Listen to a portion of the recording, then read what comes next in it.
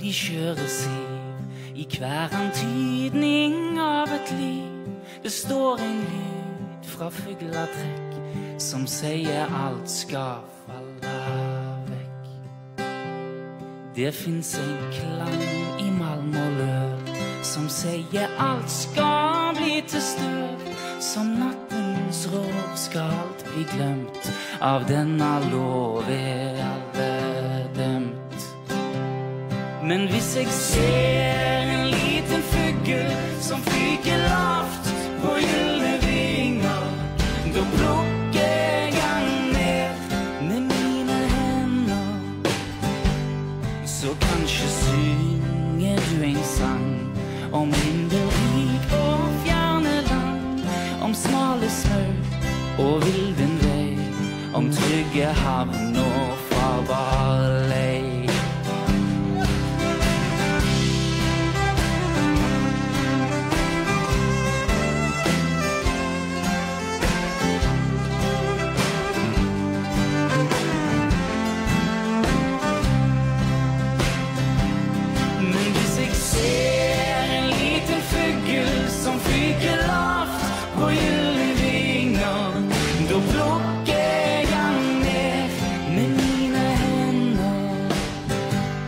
Så fører vinden deg av sted når minnet ditt er lyst i fred.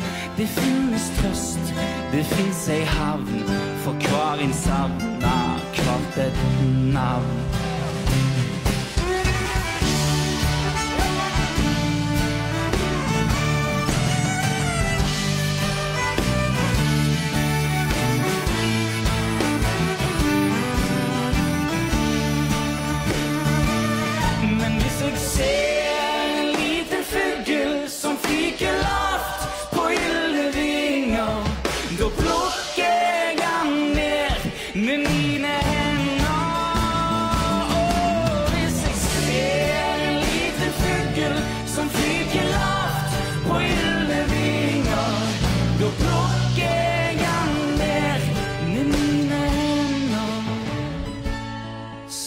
Kanskje synger du en sang om himmelrik og fjerne land, om smale smør og vilden vei, om trygge havn og farbar lei.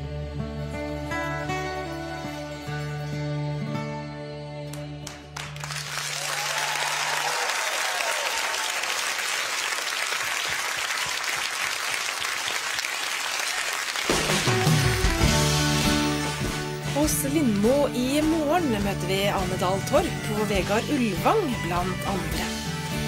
Nå til de to kvinnelige detektivene Scott og Bailey ved politistasjonen i Manchester.